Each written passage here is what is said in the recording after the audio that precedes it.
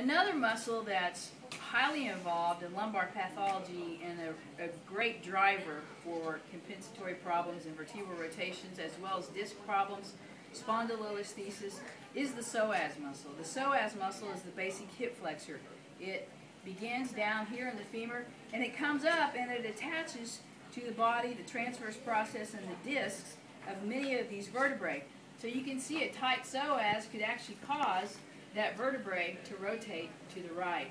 So a wonderful release technique for the psoas is to place the patient's body in an area of stress. And then you can do an active release technique to this psoas by having the person gently lift their leg and dropping it back down, maintaining the pressure. Gently lift the leg, dropping it back down, maintaining the pressure. Again, maintaining the pressure, drop down and off the table, again. And another technique similar to this is basically where you just go into the psoas, you hold it until you feel it release, and then you come up in a variety of positions. Another technique that's effective for the psoas muscle involves the patient laying on their right side.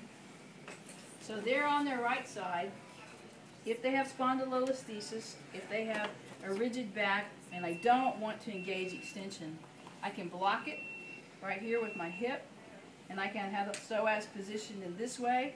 And this way we can do a variety of things. We can do a contract relax, where you pull your leg forwards, pull your knee forwards, good, and relax.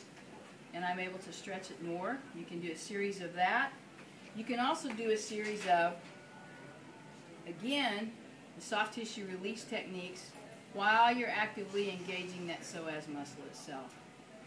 So the secret to success for most manual therapy techniques for the vertebrae, for the discs, involves hands-on placement, not just modalities, not just exercises.